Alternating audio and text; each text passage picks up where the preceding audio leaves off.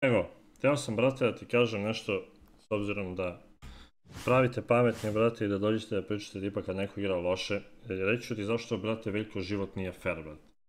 Zato što, na primjer, tebi će se sviđati nešto, meni će se sviđati nešto. Sad, iako uzmemo u obzir da svako razmišlja drugačije, brate, logično je, brate, da, naravno, ti ćeš da dođeš i da hejtuješ. I sad, sad ću ti dam pravi primjer zašto, brate, život nije fair. Na primjer, imaš, brate, lika koji je ono šmeker, brate, jebo je 20 riba. Svi kad, svi kad vide, brate, ide jebe svaku drugu ribu svaki drugi dan i svi su u fazonu, brate, ovaj lik je šmeker, brate.